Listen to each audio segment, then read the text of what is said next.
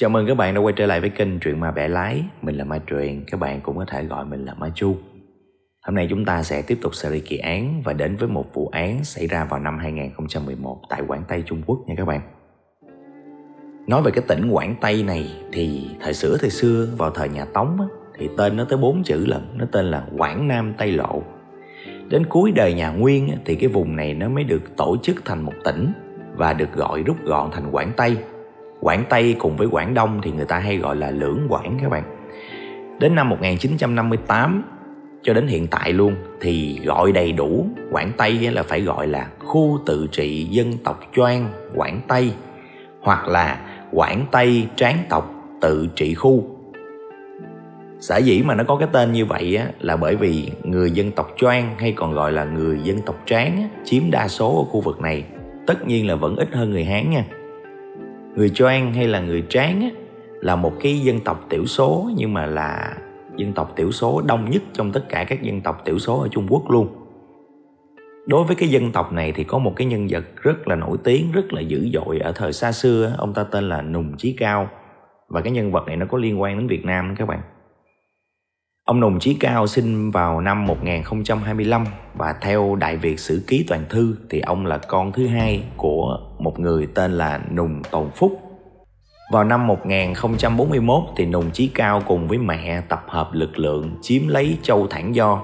Nó nằm ở gần Châu Quảng Nguyên các bạn, mà Châu Quảng Nguyên chính là tỉnh Cao Bằng của Việt Nam hiện nay. Ở cái thời đó thì cái khu vực này nó là cái vùng tranh chấp giữa Đại Việt và Đại Tống Nùng Chí Cao lúc đó mới lập ra một cái nước gọi là nước Đại Lịch. Từ khoảng thời gian này đến năm 1048 thì Nùng Chí Cao đã hai lần giao tranh với nước Đại Việt mình. Nhưng mà lần nào thì cũng bị vua Lý Thái Tông đánh cho đại bại hết, bắt sống đem về Thăng Long. Tuy vậy thì vua Lý Thái Tông lại không có giết mà lại tha về rồi phong cho làm quản nguyên mục, rồi phong tước là Thái Bảo, giao cho một số đất đai để mà quản lý. Nhưng tất nhiên là phải thần phục với Đại Việt nha. Nùng Chí Cao thì thật ra trong lòng vẫn nuôi một cái chí là thành lập một cái vương quốc độc lập theo cái mô hình của Đại Việt. Tuy nhiên thì ông ta rất là sợ nhà Lý bởi vì à, mỗi lần nào mà manh động là đều bị đánh tan tác hết trơn á. Đồng chí Cao muốn tìm một cái nơi xa xa lãnh thổ Đại Việt để mà dựng nước. Vì thế ông đã di chuyển đến châu An Đức, nay là thuộc tỉnh Quảng Tây đó các bạn. Tự xưng là nhân huệ hoàng đế và lấy quốc hiệu là Đại Nam từ cái thời điểm đó thì Nùng Chí Cao không có đánh nhau với Đại Việt nữa mà chuyển qua đánh với Đại Tống.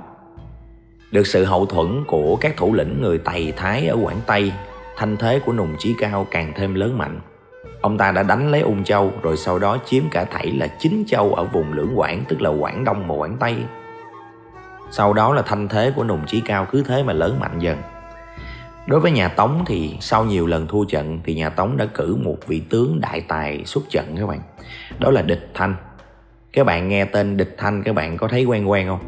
Nếu mà bạn nào mà coi Bao Thanh Thiên á, thì sẽ biết người ta tương truyền rằng á, Bao Thanh Thiên là văn khúc tinh quân chuyển thế Còn Địch Thanh chính là võ khúc tinh quân đầu thai chuyển thế để giúp nhà Tống đó các bạn Và bằng cái sự tài ba của mình thì vào năm 1053 Địch Thanh đã đánh bại đội quân của Nùng Chí Cao đồng chí cao lúc đó thất thế, phải chạy qua nước đại lý để mà trốn tránh.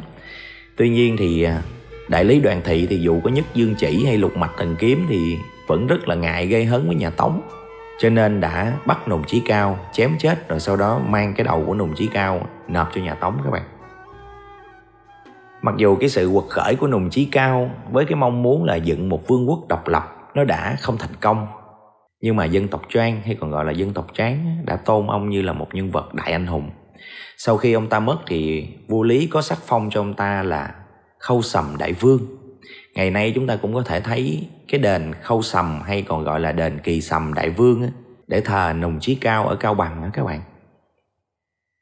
Ok, nói sơ sơ về nhân vật truyền kỳ của dân tộc Choang, một dân tộc tiểu số ở Quảng Tây như vậy còn bây giờ chúng ta sẽ đi vào nội dung chính của kỳ án ngày hôm nay Và nếu đây là lần đầu tiên các bạn đến với kênh Chuyện Ma Bẻ Lái Thì cũng đừng quên bấm nút like, nút đăng ký để theo dõi và ủng hộ cho kênh nhé Còn bây giờ chúng ta bắt đầu nào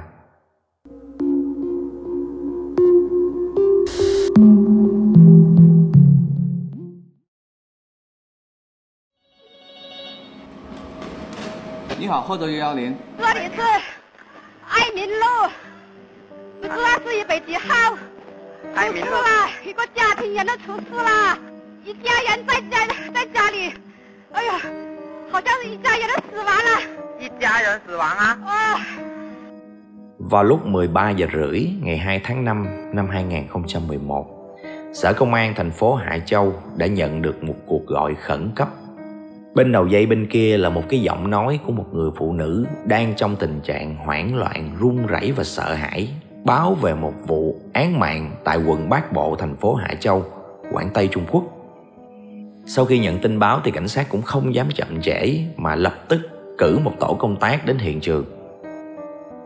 Khi cảnh sát đến hiện trường thì một cảnh tượng thương tâm mà ngay cả những cảnh sát nhiều năm kinh nghiệm trong nghề cũng cảm thấy rất là bất nhẫn. Nạn nhân gồm 4 người nằm ở ba cái phòng ngủ. Phòng thứ nhất là phòng ngủ của hai vợ chồng. Người chồng tên là Chu Tử Hùng, 44 tuổi, còn người vợ tên là Lăng Tiểu Vân, 46 tuổi. Hai đứa con họ thì là một đứa con gái tên là Châu Tuyết, 16 tuổi và một đứa con trai tên là Châu Trọng Linh, 15 tuổi. Mỗi đứa ở một phòng ngủ, tất cả đều không còn dấu hiệu của sự sống. Có những vết máu loang lổ dính ở trên tường và một chiếc giường lộn xộn. Ánh sáng ở bên ngoài, nó chiếu vào một cách lờ mờ, tạo ra một cái bầu không khí rất là kỳ quái và thê lương. Sau khi pháp y đo cái nhiệt độ gan của những cái nạn nhân này, thì người ta dự đoán rằng cả bốn người này đều chết từ khoảng 1 giờ cho đến 3 giờ sáng. Những người này đều bị sát hại bằng một dụng cụ cùn tương tự như búa và một vật nhọn, có thể là dao.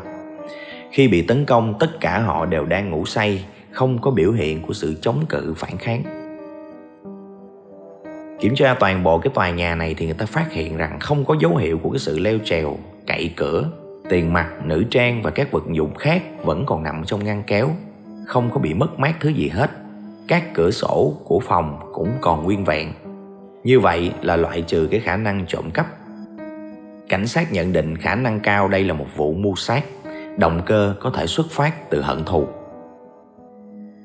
Rốt cuộc thì đây là cái loại hận thù gì mà lại tàn nhẫn đến như vậy? Diệt môn cả gia đình ngay cả hai đứa nhỏ cũng xuống tay một cách tàn nhẫn như vậy là sao? Cái người mà gọi điện báo án cho cảnh sát á, là bảo mẫu của cái gia đình này.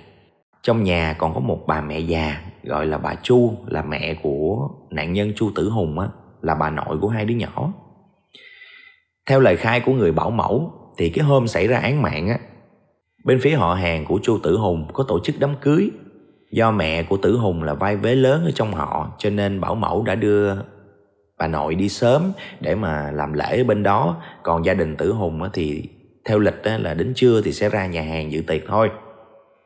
Cái lúc mà bảo mẫu và bà nội rời cái nhà thì lúc đó là sáng sớm cho nên là vẫn đinh ninh là gia đình của Tử Hùng vẫn còn ngủ, không có gọi. Tuy nhiên đến trưa rồi, tiệc đám cưới cũng diễn ra rồi mà gia đình bốn người của nhà Tử Hùng cũng không thấy đâu hết. Gọi điện thoại bàn, gọi di động của cả hai vợ chồng thì không ai nghe máy hết. Cho nên bảo mẫu mới đón xe về nhà để xem sao. Thì lúc về nhà mới phát hiện ra cái cái vụ án kinh hoàng này. Kể từ ngày mà nó xảy ra cái vụ việc này thì truyền thông đưa tin rất là rầm rộ các bạn. Đã trở thành tâm điểm chú ý của toàn xã hội luôn. Người ta gọi là vụ án diệt môn Hà Châu. Người chồng Chu Tử Hùng này trước khi bị sát hại thì làm việc tại cục thuế của Hà Châu nên cũng có nhiều người người ta ác mồm ác miệng người ta đồn thổi rằng là có lẽ Tử Hùng đã ức hiếp nhân dân, lạm dụng chức quyền để gây thiệt hại và bức xúc cho người dân cho nên mới có kết cục như vậy. Cũng có người võ đoán rằng có thể là do tranh chấp chính trị, tranh chấp về vị trí, quyền lực này nọ cho nên là cái phe đối lập đã ra tay trừ khử. Còn đối với người vợ Lăng Tiểu Vân thì cô ta là chủ doanh nghiệp về xây dựng các bạn, vừa là thầu xây dựng các công trình nhà ở, vừa kinh doanh vật liệu xây dựng luôn, rất là giàu có. Và có thể là trong quá trình kinh doanh cũng khó tránh những xích mích với các đơn vị cạnh tranh khác. Cho nên cũng có thể là nguyên nhân để dẫn tới cái thảm kịch này người ngoài người dân thì người ta dự đoán như vậy thôi chứ còn đối với cảnh sát thì người ta phải xác minh làm rõ tất cả các vấn đề khi mà đến cục thuế để điều tra thì họ biết rằng Chu Tử Hùng là phó trưởng phòng của một phòng ban ở trong cái cục thuế đó, quản lý 6 nhân viên làm nhiệm vụ công tác nội bộ, không có thuộc bộ phận tiếp xúc trực tiếp với người dân. Khó lòng có thể mà gây sách nhiễu hoặc là làm phiền nhiễu đến người dân được. Ở trong nội bộ cũng không hề có cái hiềm khích gì lớn lao với đồng nghiệp hết. Vì vậy, cái suy đoán động cơ từ hận thù đối với người dân hoặc là đồng nghiệp là không có cơ sở. Đối với người vợ Lăng Tiểu Vân thì cảnh sát đã kiểm tra sổ sách kế toán của Lăng Tiểu Vân và phát hiện ra rằng cô ta là một người phụ nữ có đầu óc kinh doanh và là một người rất là kỹ tính, rất là chi tiết. Đừng nói là những cái hoạt động, những cái chi phí thu chi của công ty mà ngay cả những cái khoản thu chi trong gia đình của ta cũng liệt kê hết vào một cuốn sổ các bạn. Mua bịch sữa, bịch đường, ký muối hay là chai nước chấm vân vân cô ta đều có ghi vào sổ hết.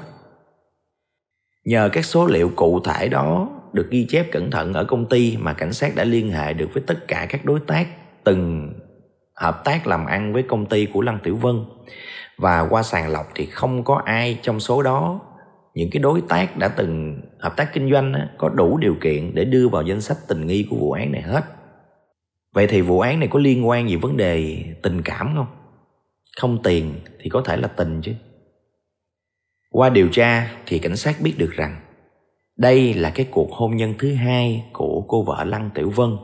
Trước đây Tiểu Vân đã có một đời chồng rồi, nhưng mà trong cái giai đoạn mà hôn nhân đó, đó thì Tiểu Vân lại gặp Tử Hùng. Một người đàn ông nhỏ hơn cô 2 tuổi, độc thân, rất hoạt bát và ga lăng. Rồi cứ thế hai người say đắm trong cái bể tình dù biết là sai trái.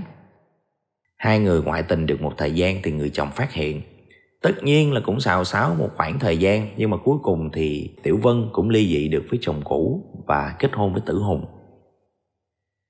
Sau mười mấy năm à, chung sống với nhau thì hai người có hai mặt con. Nhưng mà khoảng hai năm trở lại đây thì cái đôi vợ chồng này đã không còn được như xưa nữa, mà thường xuyên cãi vã và bất hòa. Cảnh sát đã điều tra hai người này thì phát hiện một điều nữa, đó là hiện tại hai người đó đều có nhân tình ở bên ngoài hết. Tử hùng thì cũng có bồ nhí, mà tiểu vân thì cũng có kép nhí luôn.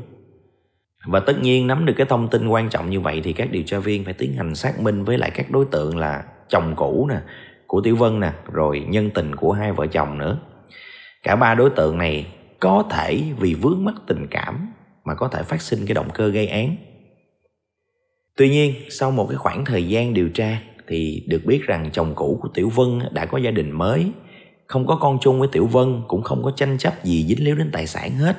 Chuyện cũ bị phản bội thì cũng đã quên rồi. Hạnh phúc mới bên gia đình là cái hiện hữu, không thể nào mà có động cơ gây án được. Còn đối với hai người tình của hai vợ chồng Tử Hùng và Tiểu Vân thì những người đó đều là những người tình trong bí mật hết Tử Hùng không biết là vợ có bồ và ngược lại Tiểu Vân cũng không biết là Tử Hùng có bồ luôn. Cả hai cái người nhân tình này đều được chu cấp tiền bạc rất là đầy đủ. Đối với việc Tử Hùng và Tiểu Vân bị chết, thật ra là không có lợi ích gì cho hai cái người nhân tình này hết. Tính ra là còn mất đi cái chỗ dựa kinh tế vững chắc của họ nữa. Cộng với qua quá trình điều tra thì họ có những cái bằng chứng ngoại phạm rất là rõ ràng. Cho nên sau một khoảng thời gian điều tra thì cảnh sát đã loại ba cái đối tượng này, chồng cũ của tiểu vân, hai cái người nhân tình của hai vợ chồng nạn nhân ra khỏi diện tình nghi luôn. Do cái vụ án này nó có liên quan đến gia đình cán bộ nhà nước, cũng là một gia đình doanh nhân có tiếng tâm cộng thêm những cái thông tin tràn lan trên các phương tiện truyền thông, gây ra một cái áp lực rất là lớn lên vai cảnh sát. Cảm thấy với cái điều kiện hiện tại là không đủ để phá một cái vụ án phức tạp như vậy. Cho nên huyện Bắc Bộ Hạ Châu đã gửi công văn yêu cầu các chuyên gia điều tra tội phạm giỏi nhất của Sở Cảnh sát Quảng Tây đến để hỗ trợ phá án. Điểm lại cái báo cáo khám nghiệm hiện trường và phân tích toàn bộ dữ kiện như sau. Đối với các vết thương trên người nạn nhân thì phía pháp y cho biết là có hai loại hung khí để gây sát thương trên cơ thể của các nạn nhân này, đó là búa và dao. Theo phân tích thì khả năng một người phạm tội mà bằng hai công cụ gây án cùng một lúc, xác suất nó tương đối thấp. Có thể sẽ phải có đồng phạm. kẻ thủ ác rất là bình tĩnh sau khi gây án xong, đã lau dọn hiện trường, thậm chí là có thể là đeo găng tay cho nên không tìm được bất cứ một dấu vân tay nào hết không tìm thấy dấu hiệu leo trèo, cậy phá cửa sổ và cửa chính, điều đó có nghĩa là sao có nghĩa là kẻ thủ ác có thể đã đi vào căn nhà này thông qua chìa khóa của chính cái ngôi nhà này luôn. Khả năng rất cao kẻ thủ ác là người quen, hoặc là đưa chìa khóa của ngôi nhà này cho sát thủ để thực hiện cái việc mua sát. Cái ngôi nhà này nó có 7 tầng. Phòng ngủ của hai vợ chồng và phòng ngủ của hai đứa con là nằm ở tầng 4 tầng 5 là phòng của mẹ của Tử Hùng và phòng của Bảo Mẫu tầng 6 thì không sử dụng, bỏ không. Tầng 7 là tầng thượng. Tại tầng 6 người ta phát hiện ra một cái dấu chân có kích thước khoảng 25cm người để lại cái dấu chân này có mang vớ. Sau khi tính toán thì đó là dấu chân của một nam giới có chiều cao từ 1m6 đến 1m7 dấu chân này không trùng với bất cứ cỡ chân nào của những người nam giới trong cái gia đình này. Là Tử Hùng và đứa con trai 15 tuổi á. Tuy là chưa xác định được lý do tại sao cái hiện trường gây án thì nó nằm ở tầng 4 mà lại có dấu chân ở trên tầng 6. Nhưng có một điều chắc chắn là trong cái thời điểm xảy ra vụ việc phải có một người đàn ông có chiều cao từ 1m6 đến 1m7 hiện diện ở đây và hung thủ sẽ phải có một bộ chìa khóa để đột nhập vào căn nhà này một cách dễ dàng như vậy. Nhà này có tổng cộng là 5 bộ chìa khóa gồm chìa khóa cổng lớn, cửa chính và các phòng ở tầng 4. Riêng phòng của bà nội á, với phòng của bảo mẫu thì có chìa khóa riêng không có nằm chung cái bộ đó. Một bộ thì Tử Hùng cầm, một bộ thì Tiểu Vân cầm, một bộ thì bà nội cầm, một bộ thì bảo mẫu cầm, còn một bộ thì hai đứa con xài chung. Cảnh sát phát hiện ra rằng năm cái bộ chìa khóa này vẫn còn nằm ở trong cái ngôi nhà này. Vì vậy những cái chìa khóa mà kẻ sát nhân đã sử dụng chắc chắn là một bộ sao chép lại. Lúc này thì cảnh sát phải bắt đầu điều tra những người thân mà có khả năng tiếp cận với những cái bộ chìa khóa trong nhà tử hùng. Phải có một trong năm bộ này thì mới có thể sao chép được. Bên phía Chu Tử Hùng thì có một người anh trai ở xa, không có liên quan. Còn bên gia đình vợ là của cô Lăng Tiểu Vân thì có tới 5 anh chị em. Trong đó thì người chị cả đã mất sớm. Người anh hai tên là Lăng Tiểu Sơn rồi tới Lăng Tiểu Vân là nạn nhân á. Tiếp theo là một người em gái tên là Lăng Tiểu Uyên, rồi cuối cùng là một người em trai út tên là Lăng Tiểu Giang. Ngoài ra còn có hai đứa cháu là con của bà chị cả đã mất á, một đứa tên là Tô Khang là đứa con trai, còn đứa con gái thì tên là Tô Khiết. Ngoại trừ nạn nhân Lăng Tiểu Vân ra là ở riêng thì anh hai, em gái và em trai và hai đứa cháu đều sống chung với người mẹ, gọi là bà ngoại á, là chung một nhà hết. Theo thông tin của những người trong gia đình cho biết, thì gia đình rất là hòa thuận với nhau. Đặc biệt là hai chị em gái tiểu vân và tiểu uyên rất là thân với nhau. Họ thường trò chuyện đi mua sắm, giúp đỡ nhau trong lúc khó khăn. Ngày xưa cái cô em gái tiểu uyên này còn cho cái cô tiểu vân vay 400 ngàn nhân dân tệ, tức là hơn một tỷ ba để mà cho Tiểu Vân có vốn xoay vòng cho cái công ty xây dựng của mình. Nhờ vậy mà công ty của Tiểu Vân mới vượt qua được cái giai đoạn khó khăn mà tiếp tục phát triển và thành công như ngày hôm nay. Tạm thời thì các điều tra viên chưa thể xác định được những cái người ruột thịt của nạn nhân Lăng Tiểu Vân có liên quan gì đến vụ án này hay không. Nhưng có một người cảnh sát đã chú ý, đó là một người cũng là người thân nhưng lại không cùng huyết thống với nạn nhân đó là chồng của cô em gái Tiểu Quyên. Cái anh này có tên là Lý Lượng. Về vai vế thì là em rể của nạn nhân Tiểu Vân đó. Theo cái dữ kiện trong điện thoại của Tiểu Vân thì người ta thấy Lý Lượng đã gọi điện cho Tiểu Vân vào tối ngày 1 tháng 5 mà tới 1 giờ sáng đến 3 giờ sáng ngày 2 tháng 5 là án mạng xảy ra đó. Thì khi cảnh sát hỏi Lý Lượng nói là lúc đó là gọi để hỏi về cái việc tăng lương thôi, chứ không có vấn đề gì khác. Hỏi thì hỏi nhiêu đó thôi, nhưng mà cảnh sát đã âm thầm điều tra về Lý Lượng. Lý Lượng là chồng sâu của cô em gái Tiểu Quyên luôn. Trước khi đến với Lý Lượng thì cái cô em gái này cũng có một đời chồng nữa. Cái này là hai chị em gái rất là giống nhau cái vụ này.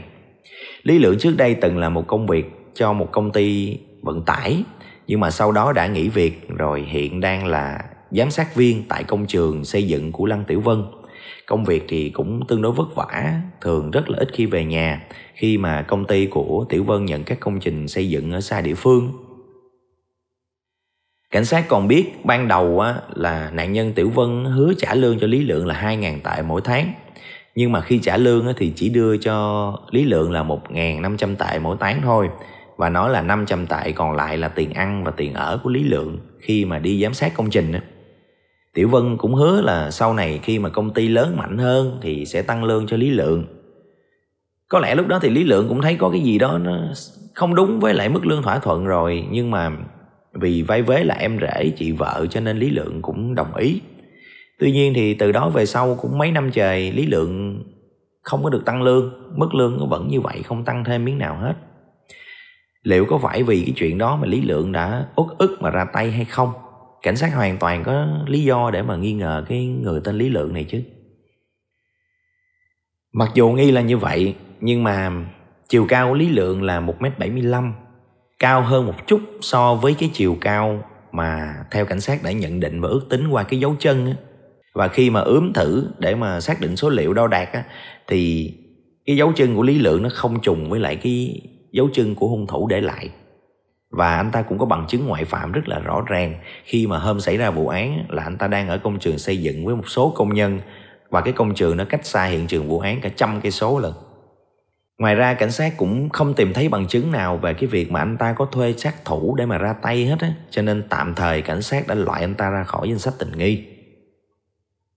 Như đã nói ở trên, kẻ thủ ác không những là ra tay tàn nhẫn mà còn rất là bình tĩnh lau dọn hiện trường Cảnh sát xác định hung thủ đã dùng cái dẻ lau nhà để mà lau toàn bộ những cái như là tay nắm cửa, tay vịn cầu thang nhằm xóa đi những cái dấu vết, những cái dấu vân tay thậm chí là xóa sạch dấu chân luôn, chỉ sót lại đúng một dấu chân trên tầng 6 đó. Khi mà xem xét kỹ lưỡng lại ở hiện trường thì các chuyên gia dấu vết đã phát hiện có một cái dấu vết mờ nhìn nó giống như hình dạng là cái đế của một chiếc dép khả năng hung thủ đã mang dép rồi đạp lên cái dẻ lau, rồi vừa di chuyển vừa lau sàn nhà. Sau một thời gian phục dựng lại cái dấu vết, thì cảnh sát đã phát hiện đây là một cái loại dép nhựa dùng để đi trong nhà. Và cái dép này thường được để ở trước cửa của cái căn nhà này. Và quả thật là đôi dép đó bị mất sau khi mà vụ án xảy ra đó. Như vậy, khả năng hung thủ đã đi đôi dép đó để đạp lên cái dẻ lau mà lau nhà khi đạp lên cái dẻ thì dùng một cái lực bàn chân để lâu cho nên nếu mà cái chân của người này to hơn chiếc dép thì chắc chắn sẽ có dấu vết của ngón chân hoặc là cái gót chân lưu lại. Nhưng ở đây chỉ thấy dấu dép thôi. Có nghĩa là bàn chân của cái kẻ này bằng hoặc là nhỏ hơn cái đôi dép này. Đôi dép này size 37 là size của nữ. Rõ ràng người mang dép làm cái nhiệm vụ xóa dấu vết đêm hôm đó là một phụ nữ và cái người phụ nữ này tương đối hiểu biết về cái ngôi nhà này. Lúc này thì cái cô bảo mẫu lại bị nghi ngờ. Tuy nhiên, mẹ của tử hùng, tức là bà nội á, thường bị đau lưng nên hay gọi cô bảo mẫu sang phòng để mà xoa bóp. Cái hôm mà xảy ra án mạng khoảng 10 giờ tối thì bà nội có gọi cô qua đó để mà xoa bóp cho đỡ đau. Ở sau đó thì cô ngủ lại phòng luôn để mà hôm sau gọi nhau dậy sớm đi đám cưới và qua lời khai của bà nội như vậy, nó trở thành cái bằng chứng ngoại phạm cho cô bảo mẫu. Vậy rốt cuộc thì hung thủ là ai đây? Chúng ta điểm lại một số cái dữ kiện mấu chốt theo nhận định của cảnh sát. Một là vào thời điểm xảy ra vụ án, ít nhất phải có một người đàn ông và một người phụ nữ. Người phụ nữ không chỉ chứng kiến toàn bộ quá trình gây án, mà còn dọn dẹp hiện trường sau khi gây án nữa. Ba khả năng cao là người quen phạm tội và người đó phải có chìa khóa của căn nhà này. Sau một khoảng thời gian, áp dụng các biện pháp tâm lý để giúp cho hai người còn sống còn lại trong cái ngôi nhà đó là bà nội và cô bảo mẫu để họ có thể nhớ lại những cái chi tiết có liên quan đến bộ chìa khóa nhà. Thì cảnh sát đã thu được một thông tin rất là quý giá, đó là vào khoảng nửa năm trước, thì bà ngoại của mấy đứa nhỏ có qua bên này chơi và ở lại đây mấy ngày cho nên Lăng Tiểu Vân đã đưa cho bà ngoại một cái chùm chìa khóa. Sau một tuần thì bà ngoại đã trở về nhà, nhưng mà quên trả chìa khóa lại cho gia đình bên này cho nên đã nhờ đứa con gái là Lăng Tiểu Uyên là em gái của nạn nhân đem trả giùm. Như vậy là Lăng Tiểu Uyên đã có cơ hội để cầm cái bộ chìa khóa đó. Chẳng lẽ cái cô em gái này có liên quan sao? Chẳng phải là cái mối liên hệ của hai chị em này rất là tốt sao? Trước đây cô em gái này còn không tiết tiền cho chị gái mượn để mà duy trì công ty cơ mà. Cảnh sát đã yêu cầu bên viễn thông cung cấp các số điện thoại mà Tiểu Uyên thường xuyên liên lạc thì đã phát hiện ra một điều bất thường. Cái cô em gái này thường xuyên liên lạc với một người nam giới tên là Lưu Thịnh Minh. Lưu Thịnh Minh này là ai? Lúc đầu mình có kể cái dữ kiện là cái người chị cả trong cái gia đình này, chị cả của Lăng Tiểu Vân mất sớm để lại hai đứa con là Tô Khang và Tô Khiết. Tô Khang là đứa con trai, Tô Khiết là đứa con gái thì Lưu Thịnh Minh là bạn trai của đứa con gái Tô Khiết. Lăng tiểu Quyên là một người cô nhưng mà lại thường xuyên gọi điện cho bạn trai của cháu gái mình vốn nó đã là một cái điều bất thường rồi. Rồi cái đêm xảy ra vụ án có một cái cuộc gọi của Tiểu Quyên cho Thịnh Minh vào lúc 4 giờ sáng nữa. Điều này đã khiến cho cảnh sát đã nghi ngờ hơn. Các đặc điểm ngoại hình, chiều cao và cân nặng của Lưu Thịnh Minh thì Lưu Thịnh Minh cao 1m68 rất là phù hợp với đặc điểm hình thái của dấu chân được tìm thấy ở tầng 6 ở hiện trường. Cái điều mà làm cho Lưu Thịnh Minh càng khiến cho cảnh sát nghi ngờ đó là anh ta đã rời khỏi Hạ Châu cùng với người bạn gái Tô Khuyết rồi. Bằng những cái biện pháp nghiệp vụ trong điều tra thì các điều tra viên đã phát hiện được cái quỹ đạo của cái cặp đôi này. Hai người đã đến Hồ Nam và ở lại Hồ Nam 2-3 ngày, sau đó đến Ninh Ba, tỉnh Chiết Giang, ở lại Ninh Ba, Chiết Giang 2 ngày, rồi di chuyển đến Quảng Đông.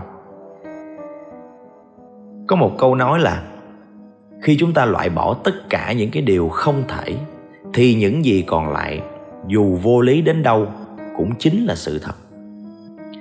Câu này là của Sherlock Holmes nha các bạn chứ không phải của mình nha. Bạn nào mà đọc tiểu thuyết về thám tử Sherlock Holmes thì sẽ biết cái câu này. Và cái câu nói này nó y lột như trong cái vụ án này luôn các bạn. Sau một khoảng thời gian, cảnh sát đã tìm thấy Tô Khiết cùng bạn trai Lưu Thịnh Minh tại một khách sạn ở Quảng Đông. Và điều khó tin nhất nhưng cũng chính là sự thật của cái vụ việc này khi mà người cháu gái Tô Khiết và bạn trai Lưu Thịnh Minh đã khai ra tất cả. Vụ án này có bốn người tham gia. Hai người cháu của nạn nhân là Tô Khang và Tô Khiết. Bạn trai của Tô Khiết là Lưu Thịnh Minh và người chủ mưu chính là cô em gái Lăng Tiểu Uyên Cuối cùng thì sau một khoảng thời gian, tất cả các nghi phạm đều bị bắt. Nhưng mà lúc này rất là nhiều câu hỏi nó được đặt ra. Tại sao bốn người này lại giết gia đình của Chu Tử Hùng, Lăng Tiểu Vân? Và ngay cả những đứa nhỏ cũng không được tha, thủ đoạn quá tàn nhẫn như vậy. Chưa kể Lăng Tiểu Uyên là em ruột của Lăng Tiểu Vân mà. Làm thế nào mà cô ta lại làm cái điều đó? Giữa cô ta và chị gái của mình có ân oán gì không ngược dòng thời gian về khoảng mấy chục năm trước thì lăng tiểu uyên là em và chị gái là nạn nhân lăng tiểu vân chênh lệch nhau 10 tuổi từ nhỏ họ đã sống ở cái khu khai thác mỏ. Cả hai đều rất là xinh đẹp và thông minh lanh lợi. Sau khi lớn lên thì cuộc sống của hai chị em cũng có chút đôi nét tương đồng, giống nhau. Đó là cả hai đều trải qua hai đời chồng, hai cuộc hôn nhân hết. Người chị gái, tức là nạn nhân Tiểu Vân, đã kết thúc cuộc hôn nhân đầu tiên, sau đó là kết hôn với Chu Tử Hùng. Khi đó thì cái người em gái Tiểu Quyên đang trong một cái thời kỳ gọi là mặn nồng và ngọt ngào của cái cuộc hôn nhân với người chồng đầu tiên. Khi nhắc đến cái khoảng thời gian này thì Tiểu Quyên không giấu được cái niềm tự hào của mình. Lúc đó cái cô em gái này nè, có cái người chồng cũ là một người có vị trí trong lực lượng cảnh sát giao thông người nhà có vướng mắc gì về xe cộ hay như thế nào đó hay là những cái gì có liên quan đến nhà nước đặc biệt là những cái chuyến xe mà chở vật liệu xây dựng của cô chị gái Tiểu Vân mà lỡ mà bị thổi lại kiểm tra đột ngột ở trên đường thì chỉ cần nhờ Tiểu Quyên gọi điện cho chồng một cái là giải quyết êm xuôi à. cũng vì vậy mà Tiểu Quyên rất có tiếng nói trong cái gia đình bên ngoài. Tuy nhiên thì cũng vì một số lý do gì đó không có được đề cập, nhưng mà Tiểu Quyên đã ly hôn với người chồng đầu tiên. Rồi sau đó thì cô ta mới gặp Lý Lượng và bắt đầu cái cuộc hôn nhân thứ hai vào năm 2000 thì công ty xây dựng của Tiểu Vân đã gặp khó khăn Tiểu Uyên sau khi ly hôn với chồng đầu tiên thì cũng có một số vốn, số tiền khoảng chừng 400 ngàn nhân dân tệ là hơn 1 tỷ ba đã lấy cho Tiểu Vân mượn để mà xoay sở. Lúc đó thì chồng của Tiểu Uyên là Lý Lượng cũng vào làm giám sát công trình cho công ty của Tiểu Vân luôn. Càng về sau thì cái người chị Tiểu Vân này lại càng khấm khá công ty xây dựng nhận rất là nhiều công trình cho nên nói chung là rất là nhiều tiền, xây được một căn nhà 7 tầng là cái nơi xảy ra vụ án. Rồi mua ô tô mới, nói chung cuộc sống rất là thăng hoa. Có lẽ cũng trong cái giai đoạn này là cái giai đoạn sau đổi ngôi. Trước đây thì tiểu uyên à, có người chồng là làm bên giao thông, rất là oai phong, rất là giống như là bà hoàng vậy đó. Thì bây giờ thì tiểu vân mới là bà hoàng. Có lẽ cũng từ đó mà cái sự đối kỵ của người em gái này càng ngày nó càng lớn hơn theo lời nói của Tiểu Quyên, thì chị gái của mình, tức là nạn nhân Tiểu Vân, có lỗi trước. Cô ta nói rằng, nếu mà không có số tiền của cô ta cho mượn, thì công ty của Tiểu Vân đâu có thể trụ nổi lúc đó. Lúc đó cho mượn, thì nói là để nhập vô cổ phần. Nhưng mà khi công ty ăn nên làm ra, thì chỉ trả đúng tiền gốc, chứ không có chia cổ tức gì hết. Giống như là phủi tay vậy. Cái này là cái lời khai của Tiểu Quyên nha, chứ về mặt hợp đồng, chứng từ thì không có. Đã vậy, Lý Lượng chồng của Tiểu Quyên lại là làm thuê cho Tiểu Vân nữa với một cái mức lương mà đối với Tiểu Quyên cho rằng chồng cô ta làm vậy mà lương vậy là không hợp lý. Cô ta nói rằng chồng của tôi làm việc ở chỗ của chị Tiểu Vân. Nói dễ nghe thì là giám sát công trường, nhưng mà thực chất ra giống như là con chó trong cửa vậy đó, không có được nghỉ ngơi, muốn tăng lương cũng không có cơ hội. Khi nói đến điều đó thì Tiểu Quyên rất là bức xúc. Từ những cái chuyện như vậy rồi Tiểu Quyên càng ngày càng trở nên ghét chị mình hơn. Dần dần cái nỗi oán hận trong lòng của cái cô em gái này càng ngày nó càng sâu nên cô đã tìm đến cháu gái và cháu trai, tức là hai cái đứa Tô Khang và Tô Khiết, để thảo luận cái cách đối phó với Tiểu Vân. Cô ta đã dùng cái lý lẽ rằng lúc mẹ của Tô Khang và Tô Khiết, tức là bà chị cả đó, bệnh nặng, thì Tiểu Vân nhà thì rất là giàu có nhưng mà không có vì tình cảm chị em mà nhiệt tình ra tiền để cứu bà chị, mà chỉ đưa một chút tiền coi như là bố thí vậy. Thật là không có coi nhau ra gì. Cứ như vậy, thuyết phục như thế nào chả hiểu, mà hai cái đứa cháu này cũng đồng ý hợp tác luôn. Còn rủ thêm lưu thịnh minh là bạn trai của tô khiết vào cuộc nữa. Vào nửa năm trước thì khi mà bà ngoại nhờ Tiểu Uyên đem trả cái chùm chìa khóa cho Tiểu Vân á, thì Tiểu Uyên đã đưa cho Tô Khiết cái bộ chính đó để đi ra đánh thêm một bộ phụ nữa chờ cái ngày ra tay. Vào rạng sáng ngày 2 tháng 5 cô ta đã mang chìa khóa ba chiếc búa và một con dao mà cô ta đã chuẩn bị từ trước sau đó gọi đứa cháu trai là Tô Khang và thằng bạn trai của Tô Khiết là Lưu Thịnh Minh. Một giờ sáng ba người này dùng chìa khóa mở cửa vào nhà của chị gái Lăng Tiểu Vân. Sau khi lên đến tầng 4 thì Tô Khang và Lưu Tịnh Minh đã ra tay giết hết bốn thành viên ở trong nhà. Thật ra là bà nội với bảo mẫu cũng khó mà thoát được cái đêm hôm đó. Nhưng mà lúc đó cái nhóm này nó không có chìa khóa vô phòng của bà nội với lại phòng của bảo mẫu. Không thể mà mở cửa bằng cách dùng vũ lực để phá cửa được vì làm như vậy có thể nạn nhân sẽ la hét. Mà ở đây cái khu này nó cũng phải là khu vắng người đâu. Có thể sẽ làm bại lộ cái chuyện này. Cho nên nhờ vậy mà bà nội với bảo mẫu mới vớt lại được cái mạng.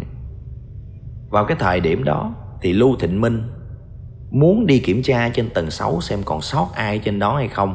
Chính vì vậy mà khi hắn đi lên tầng 6 mới để lại một cái dấu chân ở trên tầng 6 là như vậy.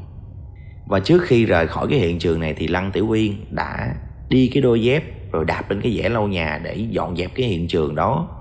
Đi cái đôi dép nhựa đó là chủ yếu để không gây ra tiếng động, nhưng cuối cùng thì nó cũng để lại dấu vết. Và sau đó thì bốn người này mang hung khí và chìa khóa và đôi dép đó ra khỏi hiện trường luôn. Họ đã ném tất cả mọi thứ đó xuống một cái con sông ở dưới một cây cầu ở Hạ châu. Cảnh sát đã tiến hành trục vớt và sau một khoảng thời gian thì họ đã vớt được những cái phương tiện gây án cũng như là chùm chìa khóa từ dưới sông lên.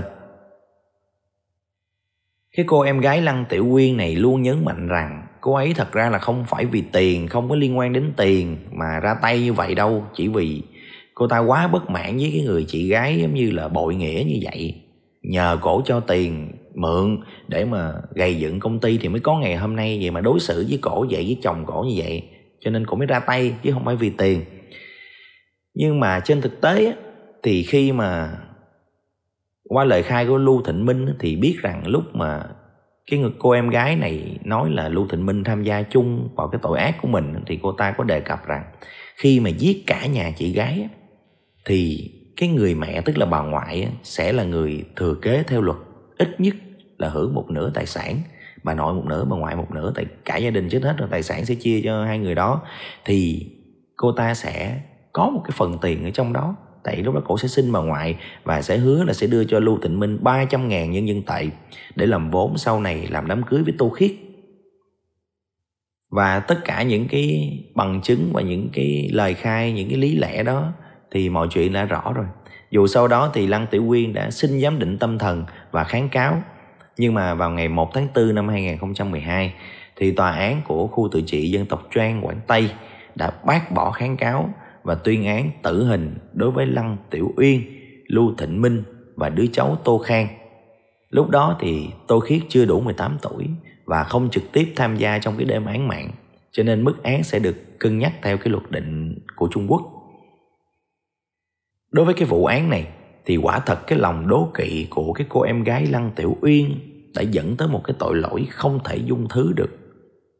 Có lẽ trong cái cuộc hôn nhân đầu tiên cô ta đã quá sung sướng là một người có tiếng nói ở gia đình bên ngoài giống như đang trong đỉnh cao vậy, vừa có tiền vừa có cuộc sống hạnh phúc. Nhưng mà từ khi lấy chồng thứ hai thì cô ta cảm thấy mình xa suốt mọi thứ. Trong khi cái cô chị thì cũng hoàn cảnh giống như vậy, cũng lấy chồng thứ hai giống như mình nhưng mà lúc đó thì lại phát triển hơn, giàu có hơn. Rồi những cái lấn cấn trong cách cư xử và tiền bạc giữa hai chị em đã làm cho Tiểu Yên cảm thấy bất mãn và bế tắc. Và khi cái lòng đố kỵ nó trở thành một cái sự oán hận lúc nào không hay, thì kết quả là quyết định xuống tay với chính chị ruột của mình. Cuối cùng, chết hết còn lại là hai bà cụ đau khổ thôi. Bà nội thì mất con, mất cháu bà ngoại thì như là hóa điên khi biết cái kẻ mà nhẫn tâm ra tay sát hại con cháu của mình chính là đứa con ruột khác và đứa cháu ruột khác của mình. Thật ra, nếu mà chúng ta nhìn người khác, những cái người mà người ta hơn mình mà dùng cái ý niệm so sánh với một cái mục đích là nhắc nhở cho bản thân phấn đấu tốt hơn, hoàn thiện hơn, thì điều đó lại là điều tốt nha. Nhưng mà nhìn người khác hơn mình với ánh mắt ghen ghét, đố kỵ, thì có lẽ chúng ta sẽ không bao giờ cảm thấy được là chúng ta hạnh phúc đâu hành vi của chúng ta nó sẽ bị dẫn dắt và lòng đố kỵ nó sẽ giết chết cái nhân cách, cái nhân phẩm của mình, hủy luôn cái sự tôn nghiêm của bản thân. Đến khi một lúc nào đó thì từ sự đố kỵ nó sẽ chuyển hóa thành oán hận và chúng ta sẽ không còn là mình nữa và sẽ có thể đi đến những cái quyết định mà dẫn tới những cái hậu quả khôn lường. Đối với ai cũng vậy, đặc biệt là người thân trong gia đình, cái cách cư xử của chúng ta nó cũng nên chú ý và chuẩn mực. Hơn thua nhau để làm gì? Có nhất thiết phải như vậy không? Người xưa hay nói một câu là nhẫn một chút, thấy sóng yên gió lặng, lùi một bước, thấy biển rộng trời cao. Ok, cái vụ án ngày hôm nay đến đây thôi. Chúng ta sẽ gặp lại nhau ở những câu chuyện kỳ án tiếp theo. Các bạn có ý kiến gì thì nhớ comment bên dưới cho mình biết nhé. Còn bây giờ thì xin chào tạm biệt và xin hẹn gặp lại.